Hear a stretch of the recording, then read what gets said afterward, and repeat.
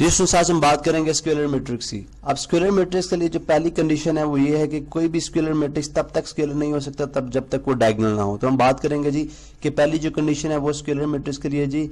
Scalar matrix should be are diagonal matrix ठीक है? Diagonal matrix अब जब ये डायगनल मैट्रिक्स होगा, ठीक है तो वो क्या कंडीशन है जो इसको स्केलर बना रही है, ठीक है? डायगनल मैट्रिक्स के लिए हमने देखा था कि एक स्क्वायर जैसे मैं मैट्रिक्स लिख देता हूँ, चलें ए मैट्रिक्स है मेरे पास, इसको लिख देता हूँ कि one one zero zero zero four zero zero zero three. अब मैंने बोला था कि ये एक डायगनल मैट्रिक्स है। क्यों? क्योंकि इसकी, अगर आप देखें तो इसकी जो डायगनल एंट्रीज हैं वो नॉन ज़ीरो है, ठीक है? एटलीस्ट वन और मतलब कम अज कम एक है, लेकिन इसकी तीनों हैं तो विच इज़ गुड ठीक है? और इसकी ऊपर वाली तमाम एंट्री ज़ीरो हैं, ठीक है? और नीचे वाली तमाम एंट्री यानी अपर ट्राइंगल और लोअर ट्राइंगल में जो एंट्रीज है, वो तमाम की तमाम ज़ीरो हैं, ठीक है? अब आप देखें कि मैं इसको डायगनल मैट्रिक्स कह रहा हूँ, लेकिन ये स्केलर मैट्रिक्स नहीं है। किसी भी मैट्रिक्स के लिए स्केलर मैट्रिक्स होना होने के लिए जो कंडीशन है वो ये है कि डायगनल एंट्रीज के अंदर तमाम की तमाम एंट्रीज सेम होंगी और नॉन ज़ीरो होंगी। तमाम की तमाम एंट्रीज सेम होंगी और नॉन ज़ीरो होंगी।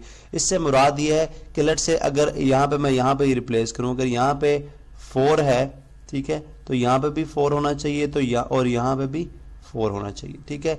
इसी तरह अगर यहाँ पे कोई और नंबर है तो इसी तरह यहाँ से भी नंबर चेंज होने चाहिए, ठीक है? मिसाल के तौर पर यहाँ पे मैं लिखता हूँ B is equal to diagonal में लेट सपोज़ अगर मैंने यहाँ पे सेवन रख दी है तो फिर यहाँ पे भी सेवन होना चाहिए और यहाँ पे भी सेवन होना चाहिए।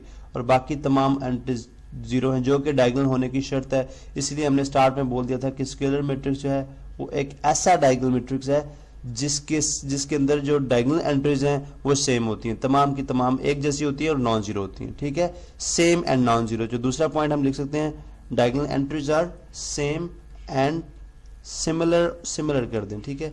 Similar and similar and non zero non zero तो आपने देखा कि हमने डायगनल मैट्रिक्स को किस डायगनल मैट्रिक्स को स्केलर में कैसे कन्वर्ट किया और उसकी क्या कंडीशन हमने रखी है जी? कि कंडीशन ये है कि स्केलर मैट्रिक्स कोई भी जो है वो तब होगा जब डायगनल एंट्री सेम होगी। अब यहाँ पे अब अगर हम ऐसी बात करें लेट सपोज़ मैं कुछ मेट्रिसेस ड्रॉ करता हूँ, ठीक है? यहाँ पे मैं कुछ मेट्रिसेस ड्रॉ करता हूँ। फ़र्ज़ करें जी, हमारे पास है C is equal to two two zero zero ठीक है? इसी तरह मेरे पास एक डी मैट्रिक्स है, जो कि इक्वल है वन ज़ीरो ज़ीरो टू ठीक है? ये टू बाई टू का आगे इसी तरह मेरे पास एक ई e मैट्रिक्स है, जो कि इक्वल है फाइव के. ठीक है? जस्ट सिंगल एंट्री है इसी तरह एक मेरे पास एफ़ मैट्रिक्स है, जो कि इक्वल है two zero zero zero five zero zero zero और सेवन, ठीक है? थ्री बाई थ्री का एक मैट्रिक्स आ गया, ठीक है? इसी तरह मेरे पास चले एक और मैट्रिक्स ले लेते हैं हम कलर चेंज कर लेते हैं। जी मैट्रिक्स है मेरे पास, जो कि है two zero zero zero, two zero zero zero two. चले नेगेटिव टू कर लेगी बिकॉज़ टू रिपीट हो रहा है, पहले नेगेटिव टू कर लेते हैं, ठीक है? अब आप देखें कि इसके अंदर हम आइडेंटिफाई करना चाहते हैं कौन से मेट्रिक्स डायगनल है और कौन से जो है वो स्केलर है और कौन से डायगनल और स्केलर दोनों है, ठीक है? अब देखें कि अगर हम इसके अंदर देखें तो तमाम के तमाम मेट्रिसेस जो है हमारे पास क्या है? डायगनल है। तमाम के तमाम मेट्रिसेस डायगनल है, ठीक है? कैसे? बिकॉज़ अगर आप देखें ये डायगनल है, ठीक है? कलर चेंज करता हूँ मैं।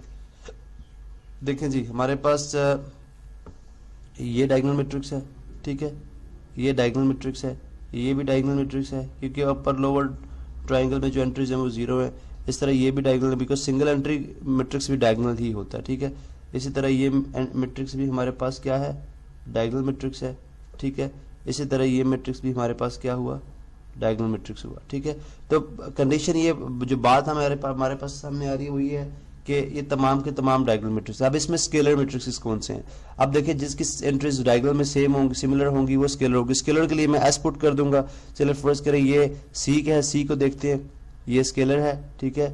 ये स्केलर नहीं है ये जस्ट डायगनल डायगनल के लिए मैं डी पुट करता जाऊँगा ठीक है?